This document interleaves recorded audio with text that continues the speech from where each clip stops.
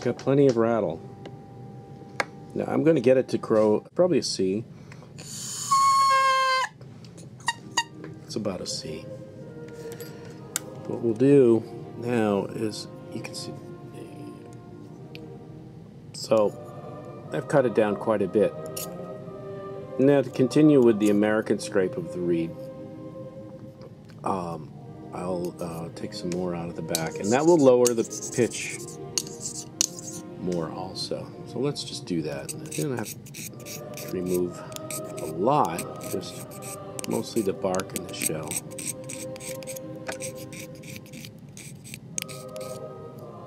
And depending on the cane, this should work out well. This is a graff gouge that I've resurrected, or the former colleague say, would say exhumed, exhumed. I had a colleague when we were in orchestra, a very funny guy. He would say, uh, "Is this uh, what was that phrase he used? A resurrection or an exhumation?" we play some old piece. And yeah, that was good. That was fun. So yeah, I will. Uh, this is an exhumation probably. Let me. So that lowered it, I'm sure.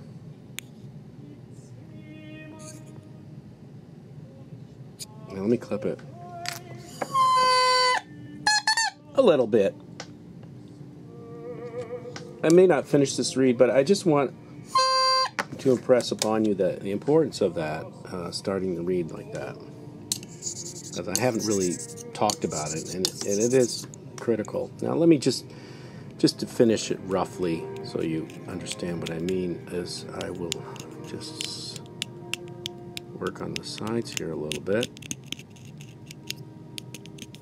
and we will probably have a finished product relatively close. When you scrape on the sides like this after you've scraped the middle so that it vibrates well, it does lighten the reed and it does remove some of the um, harshness of the reed, some of those overtones that we don't we want to get rid of. The very ringy, hard sounding overtones. Yeah, it has a lot to do with our acoustics, of course. You know, probably 200 years ago, we'd like to keep it that way, but in modern halls, most of them have plenty of ring, and uh, hence the modern oboe, which is a combination of ring and tone, and uh, something that we debate over quite a bit.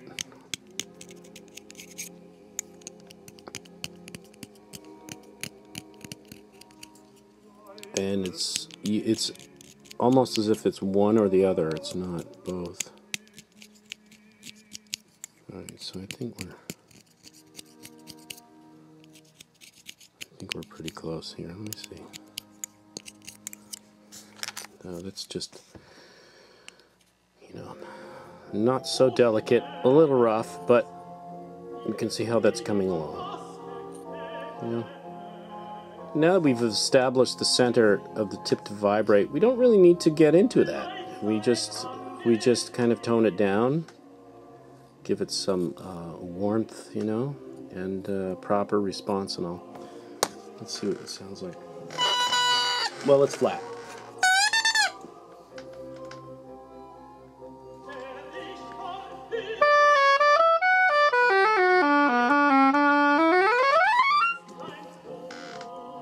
That was lovely.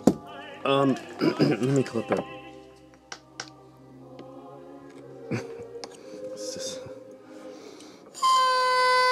still flat. You can go a little more. You see that did flatten it quite a bit, didn't it? Still flat. It has to do the gouge. It just doesn't want to get up there. One tiny one, I think it'll do it. Whoop, my tip is getting kind of heavy. There it is. But, of course, and this is part of the game, we uh, clip and then we have to scrape just a little bit.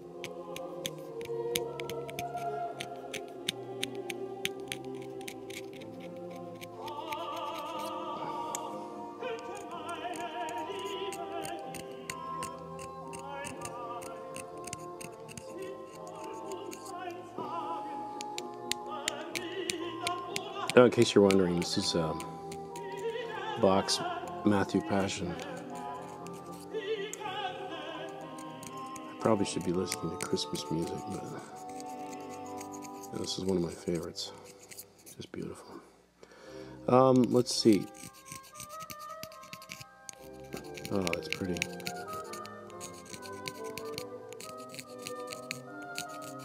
Very pretty. Oh,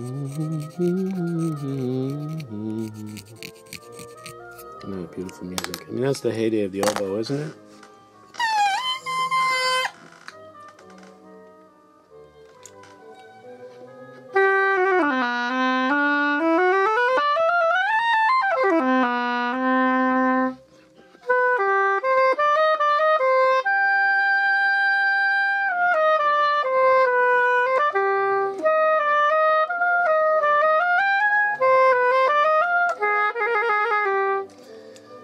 It's lovely.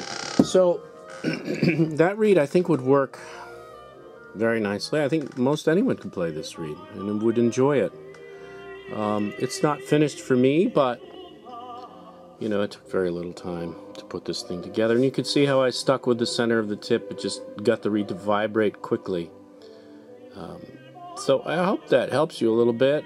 And um, by the way, have a wonderful holiday.